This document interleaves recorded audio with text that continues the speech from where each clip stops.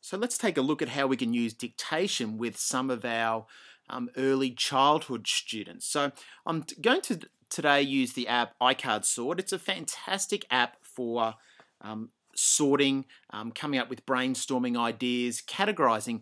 But um, we can start to use this now because traditionally with apps, it's always been about what the students can type. Um, so now we can use dictation because the new iPad uh, comes with that dictation facility. So let's have a look. So if a prep or year one come into my class, we can teach them to use iCard sort. We're going to press the plus, which means create a new card. And traditionally, if we ask the young students what they did on the holidays, just one word, they would have to type it and they, they would struggle with the spelling and so forth.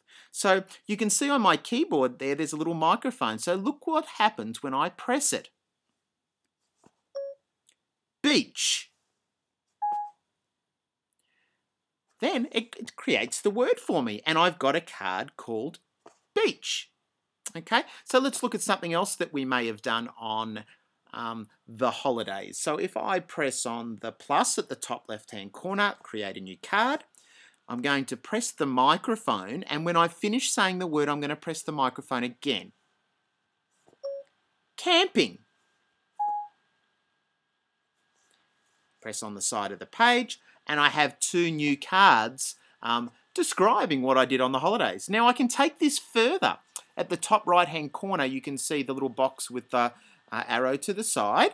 And what I can do is I can go down to my settings and I can look at my background image. And what I can do there is I might pull in a um, categorizing type blackboard and so I might have the top left hand corner all the things that I did at the start of the holidays. And down the bottom here, on the right hand side, I might have all the things that I did towards the end of the holidays. So I can start to build in concepts like time.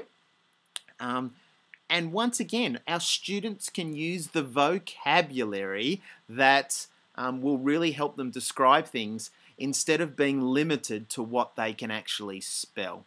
Um, just a little bit of a warning and a note here that um, in schools, some of the proxy and firewall settings that your school may have might restrict you from using the dictation facility and also the Siri um, capabilities on your iPad. So something just to check with your IT department first.